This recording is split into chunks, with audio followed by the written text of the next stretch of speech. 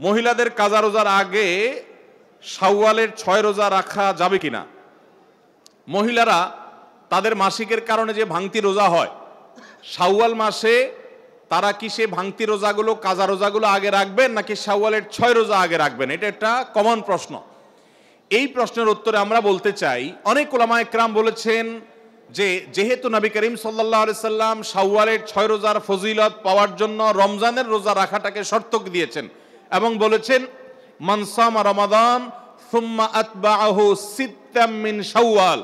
যে ব্যক্তি রমজানের রোজা রাখল, এরপরে শাওয়ালে ছয়টা রোজা রাখল, কানা কাসিয়ামে দাহার, সে সারা বছর রোজা রাখার সব পাবে। কীভাবে এই রোজা রাখার সব হয়? অনেক ওলামা একরাম, অনেক বিশ্লেষকরা বলেছেন, আল্লাহ তালা প্রতিটা আমলের বিনিময়ে কমপক্ষে দশ গুণ বাড়ান। সাত, কোনো কোনো ক্ষেত্রে আরও অনেক গুণ বাড়ান। দানের ক্ষেত্রে আরও কয়েকশো গুণ পর্যন্ত আল্লাহ বাড়ায় দেন। দশ গুণ করে যে বাড়াবেন, এই জন্য রমজানের তিরিশ দিনে তিরিশটা রোজা আর শাওয়ালের ছয়টা রোজা, মোট ছত্রিশ। ছত্রিশকে দশ গুণ দিলে তিনশো ষাট, সারা বছর রোজা রাখার সব হয়।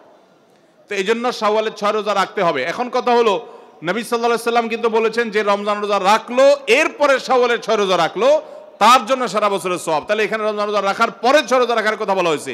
এই জন্য অনেক কোলামা একরাম বলেছেন মহিলারা তাদের ভাঙতি রোজাগুলো আগে রাখবে, তাহলে রমজান রোজা রাখা হয়ে গেল, এরপরে শাওয়ালের ছয় রোজা রাখবে। এটা একটা মত।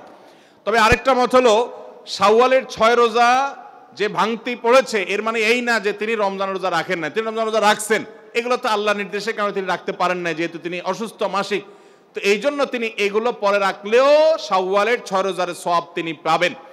কারণ শাওয়ালের ছয় রোজা তো শাওয়াল মাসে না রাখলে আর হবে না, পরে রাখলে আর হবে না। কিন্তু এই কাজাগুলো তো পরে রাখলেও আদায় হবে। তো উত্তম হলো কাজা আগে করে যদি সাওয়ালের ছয় রোজা রাখতে পারেন। সবচেয়ে উত্তম, না পারলে অন্তত সাওয়ালের গো আগে রেখে কাজাগুলা পরে রাখলেও আশা করতে পারেন আল্লাহ তালা সাওয়ালের ছয় রোজার ফজিলত দিবেন।